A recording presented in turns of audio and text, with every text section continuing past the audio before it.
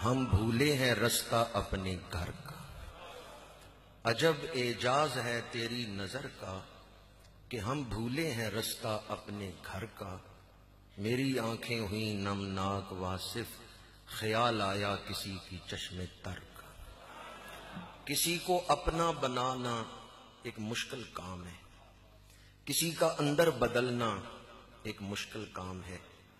और शाह जी साहब को अल्लाह ने यह कमाल अता फरमाया है कि जब आप बोलते हैं तो आपके लफ्ज दिलों में खुब जाते हैं।